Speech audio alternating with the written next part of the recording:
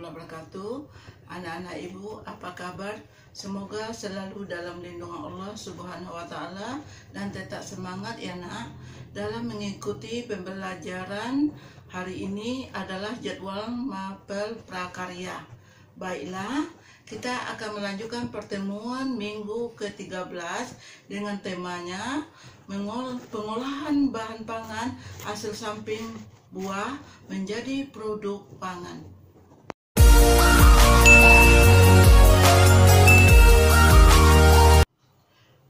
Kompetensi dasar 4.2 Mengolah, menyaji, dan mengemas bahan hasil samping buah menjadi produk pangan yang ada di wilayah setempat. Kemudian kita lanjutkan lagi tujuan pembelajaran. Yang pertama, merancang pembuatan kebutuhan alat dan bahan serta teknik pengolahan. Yang kedua, mengolah hasil samping buah segar menjadi produk pangan. Yang ketiga, mengemas dan menyajikan hasil samping pengolahan buah segar menjadi produk pangan. Baik, baiklah anak ibu semuanya, ibu akan menjelaskan lagi teknik pengolahan pangan terdiri empat bahagian. Yang pertama, teknik pengolahan pangan panas basah terdiri tujuh bahagian. Yang pertama, teknik merebus menutup bahan pangan. Yang kedua, teknik merebus dengan sedikit cairan. Yang ketiga, teknik mengukus. Yang keempat, teknik mendidih. Yang kelima, teknik merebus. Yang keenam, teknik mengulai. Yang terakhir, teknik mengetim. Selanjutnya, yang kedua, Teknik pengolahan pangan panas kering terdiri lima bahagian. Yang pertama, teknik menggoreng dengan minyak pak banyak.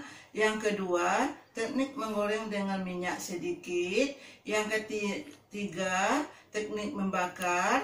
Yang keempat, teknik memanggang. Yang terakhir, teknik menumis. Kemudian yang ketiga, tahapan pengolahan bahan pangan hasil samping buah menjadi makanan minuman terdiri tiga bahagian. A. Perancang terdiri dua bahagian. Yang pertama, identifikasi kebutuhan. Yang kedua, ide atau gagasan. Yang kedua, pelaksanaan terbagi tiga bahagian. Yang pertama adalah persiapan. Yang kedua adalah bahan-bahan. Yang ketiga adalah alat. Kemudian yang C, penyajian dan pengemasan. Yang D-nya evaluasi. Yang terakhir, penyajian dan pengemasan pengolahan pangan. Pengemasan merupakan tahapan akhir dalam proses pengolahan pangan sebelum dipasarkan. Pengemasan sering kali menjadi salah satu faktor penentu kesuksesan suatu produk olahan di pasar kemasan yang baik tentunya harus dapat memenuhi harapan konsumen beberapa hal yang perlu diperhatikan untuk dapat memenuhi harapan konsumen adalah sebagai berikut. Yang A, kemasan harus dapat melindungi isi dengan baik, mudah dibuka dan mudah ditutup, serta mudah dibawa. Kemudian yang B, bentuk dan ukuran menarik serta sesuai dengan kebutuhan. Yang ketiga yaitu C, labeling harus jelas dan komplit. Yang D-nya, bahan kemasan harus ramah dan lingkungan. Demikianlah materi kita pada hari ini.